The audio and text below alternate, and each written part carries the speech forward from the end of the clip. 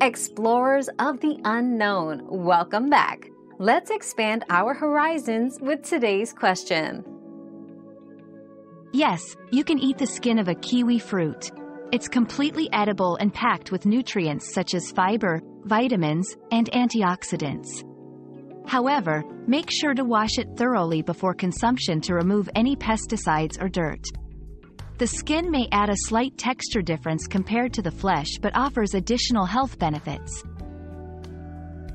Your daily dose of discovery ends here, but the journey of learning never stops. Subscribe and join us again for more answers tomorrow.